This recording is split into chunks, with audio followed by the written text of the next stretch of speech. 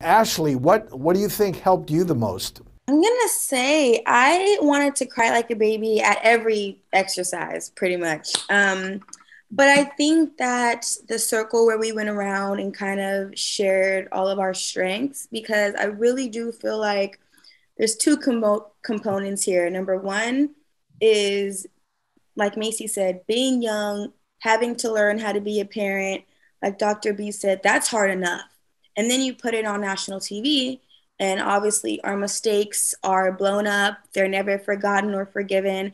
And so for us to all be able to get together and say, we are strong, we are this, we are this, it's a good reminder because our mistakes are just always on blast and hard to yeah they are. Well from. they are. But that, i think that that helps you uh, self-analysis and helps you grow. So dr b i hear you use scream therapy. Ah! Yes. I feel better after that you know doc? I think you you just helped yeah. me.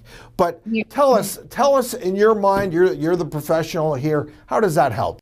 Uh, so scream therapy, it, it works best as an icebreaker, right? Uh, because it gets out all the funky stuff that's either in the individual or in the group or in the couple, whatever you got going on, whatever you're facilitating.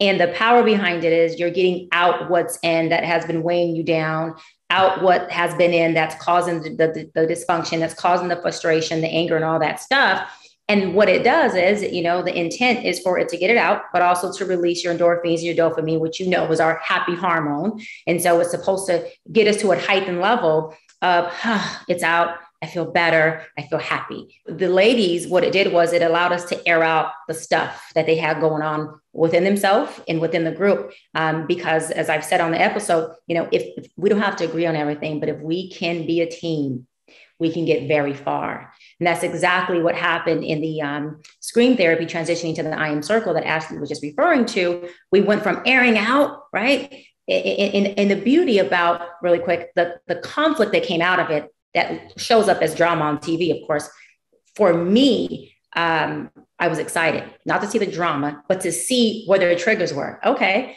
what the conflict and the frustration, because where the anger is, is where the pain is. And as me stepping back, witnessing this, it gave me a huge edge on them as individuals, as mothers, and not as TV personalities. And I was able to connect and say, oh, I see the pain pockets. Oh, I'm going there. Okay, that's what we're working on. Okay, let's concentrate here. Let's go deeper. It's bigger than how you reacted. Where did this root from? Ashley said it rooted from daddy issues. Okay, let's talk about that.